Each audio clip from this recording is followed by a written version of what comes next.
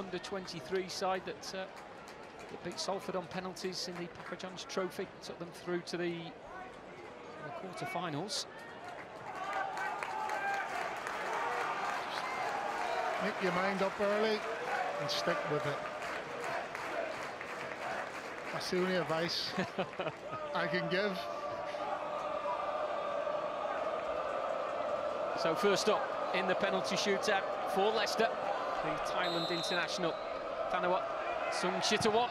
And it's saved by Garratt to the delights of the Burton crowd. And we're